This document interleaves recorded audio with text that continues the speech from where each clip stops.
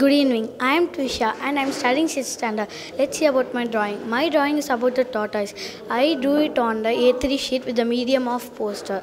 I use blue family colors for the tortoise and the, shell of the tortoise, the body of the tortoise and the background of the tortoise. I used green family and purple family also. Uh, in ancient China, the tortoise is uh, considered as a spiritual and lucky creature. Thank you.